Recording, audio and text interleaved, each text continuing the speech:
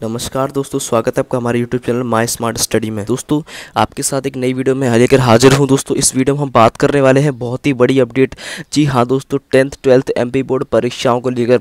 जी हाँ दोस्तों, अगर आपने टेंथ ट्वेल्थ में हो अपने एग्ज़ाम दिए थे दोस्तों, अभी अब तक कोई फैसला नहीं आ पाया है। जैसे कि आपके पास कोई अपडेट नहीं आ पाया तो दोस्तों, एक नई अपडेट के साथ मैं आपको रूबरू कराना चाहता हूँ। जी हाँ दोस्तों, एक बहुत बड़ी अपडेट आई है सामने। टेंथ, ट्वेल्थ परीक्षाओं को लेकर। जी हाँ दोस्तों, दो अपडेट्स हैं, दोनों आपको एक साथ दूँगा। और लेकिन स्टार्ट वीडियोस करने से पहले मैं आपको बता दूँ कि अगर आपने अभी तक मेरा चैनल सब्सक्राइब नहीं किया है तो चैनल को सब्सक्राइब करके बेलाइकन ज़रूर प्रेस कर लें। तो चलिए आपको बताता हूँ कि क्या है वो नई दो अपडेट। तो दोस्तों, सबसे बड़ी जो अपडेट है, वो सबसे बड़ी, सबसे पहले है दोस्तों, वो ये है कि दोस्तों, आपका टेंथ, ट्वेल्थ के जो एग्ज़ाम रिमेंस रह गए थे, यानी कि दोस्तों, आपके टेंथ के एग्ज़ाम कुछ आपके रह गए थे, और आपके ट्वेल्थ के एग्ज़ाम रह गए थे, दो तीन आपको, दोस्तों, आपके वो एग्ज़ाम होंगे। लेकिन दोस्तों, उनकी अभी कोई पुख्ता खबर नहीं आई है कि वो आपके एग्ज़ाम कब होंगे। यानी कि दोस्तों, जिसे अपन कह सकते हैं फाइनल डेट अप्रॉक्स एक तारीख आ चुकी है दोस्तों कि आपके एग्ज़ाम कब होंगे। तो दोस्तों, वो है अप्रॉक्स दस से पंद्रह मई के बीच में आपके एग्ज़ाम स्टार्ट हो जाएँगे। जी हाँ दोस्तों, तीन तारीख को लॉकडाउन समाप्त होने के बाद दोस्तों, आपके दस या पंद्रह से पहले ही आपके एग्ज़ाम स्टार्ट हो जाएँगे टेंथ ट्वेल्थ के।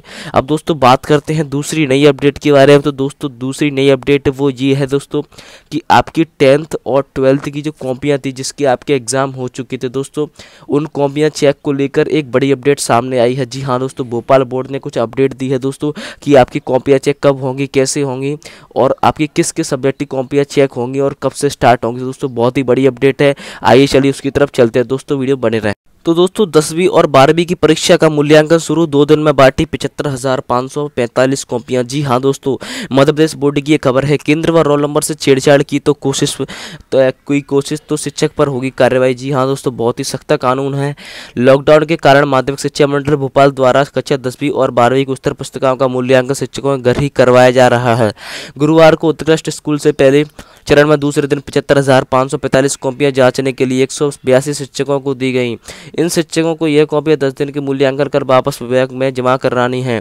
बताया गया है कि कॉपियों का वितरण काम पर केंद्र पच्चीस अप्रैल तक चलेगा। बोर्ड परीक्षा परिणाम में देरी न होने को लेकर माध्यमिक शिक्षा मंडल द्वारा प्रथम चरण के मूल्यांकन को लेकर नए निर्देश दिए गए हैं। दसवीं और बारहवीं की उत्तर परीक्षाएँ का मूल्यांकन शिक्षकों के घर पर शुरू किया गया है। रोल रोल नंबर व केंद्र नंबर पर स्टिकर नहीं हटा सकेंगे। देगी तो संबंधित के खिलाफ कार्रवाई की जाएगी। केंद्र में शिक्षक बड़े बोरियों के कॉपी बंडल रखकर ले गए हैं। दो दो घंटे के अंतराल में बुलाया गया। एक कमरे में पाँच से छः शिक्षकों को कॉपियों के बंडल चेक करने दिए गए हैं, जहाँ सोशल डिस्टेंसिंग का भी पालन करते हुए नज़र आया तो दोस्तों, इस तरीके से कुछ जो है, आपकी कॉपियाँ चेक हो रही हैं और पचहत्तर कॉपियों का वितरण किया जा चुका है। तो दोस्तों, इस तरीके से आपकी जो है कुछ कॉपियाँ चेक होंगी।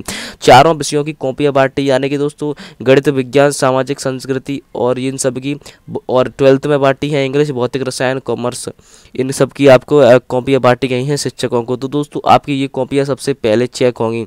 तो दोस्तों, ये थी सबसे बड़ी अपडेट आपकी कॉपियों को लेकर। इसी के साथ दोस्तों, आपको बता दूँ कि अगर अभी तक चैनल सब्सक्राइब नहीं किया तो जाते जाते चैनल को सब्सक्राइब कर